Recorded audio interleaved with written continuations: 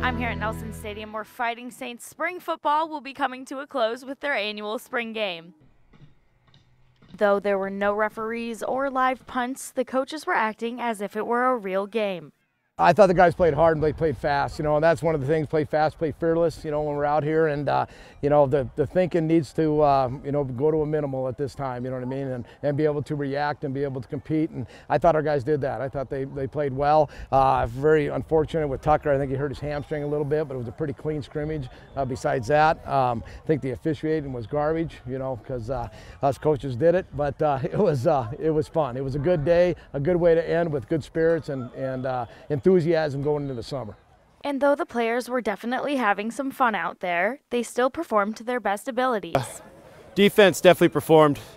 They always do. We got a great defense. Uh, the young guys, especially on offense and defense, but offense especially, our white group performed great. I love to see it.